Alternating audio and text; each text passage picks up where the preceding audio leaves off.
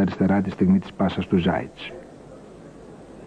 Τώρα είναι η σειρά των Αργεντινών να περάσουν στην επίθεση που έδωσαν δείγματα του συγκρατημένου τεχνικού ποδοσφαίρου που αντιπροσωπεύουν. Δεν είναι offside λέει ο επόπτης, θα γίνει η σέντρα, ο Βονόρτας θα αποτύχει και από κοντά ο Μορένα θα κάνει το 0-1.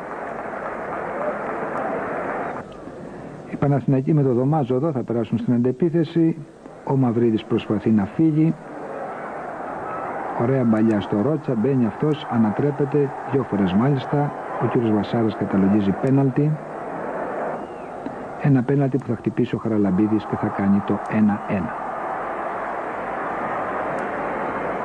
Με πολύ ενδιαφέρον συνεχίστηκε το μάτς καθώς η Αντίθετα από την άλλη πλευρά οι Αργεντινοί θα κερδίσουν ένα φάουλ λίγο αργότερα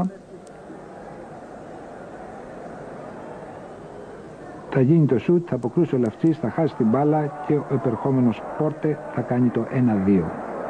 Σκορ με το οποίο τέλειωσε το πρώτο εμίχρονο. Ο Ζάιτς τώρα στο δεύτερο εμίχρονο προσπαθεί για τον Παναθηναϊκό. Αριστερά η μπάλα, στο Σαραβάκο τώρα. Πολύ ωραίο σουτ στην κίνηση επάνω. Που άξισε μια τέτοια τιμή. Να όμως τώρα η Μπόκα Junior στην επίθεση.